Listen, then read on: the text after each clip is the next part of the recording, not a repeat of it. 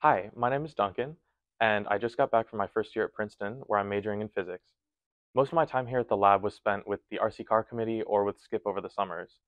And this summer, I'll be working on a documentation system that aims to make past projects more accessible to future volunteers.